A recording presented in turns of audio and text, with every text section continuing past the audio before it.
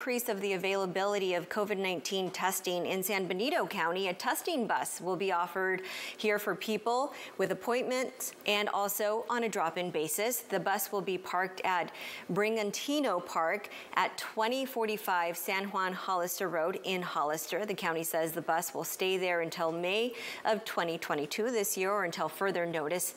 Tests will also be available between the hours of 10 a.m. to 6 p.m. Wednesday through Sunday.